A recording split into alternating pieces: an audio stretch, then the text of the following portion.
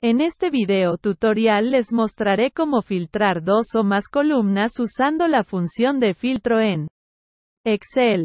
Si les gustó este video tutorial y quieren más videos como este, por favor suscríbase a mi canal.